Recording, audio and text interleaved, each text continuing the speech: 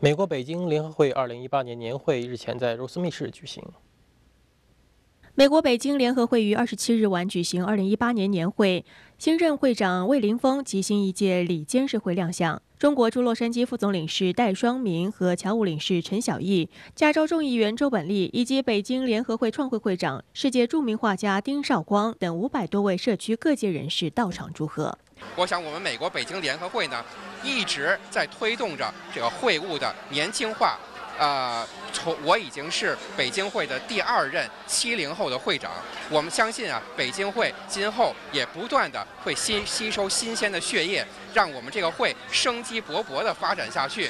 新任会长魏凌峰在致辞中表示，非常感谢各界对他及北京联合会多年的支持。作为一个七零后的会长，他希望增加更多的年轻血液，让更多年轻人参与到侨团及社区工作。其次，让社区管理制度化，另外要有包容、开放的胸襟，团结其他社团，为美国社会添砖加瓦。